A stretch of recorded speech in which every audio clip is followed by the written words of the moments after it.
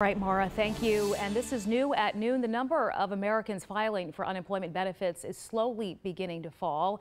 In some places, the Labor Department's jobless claims for last week just released, and it shows another 1.3 million people filed for the first time. That's 10,000 fewer, but still the 17th straight week that figure topped a million. Georgia's unemployment rates are up by more than 31,000 from previous week, with more than 136,000 people filing claims.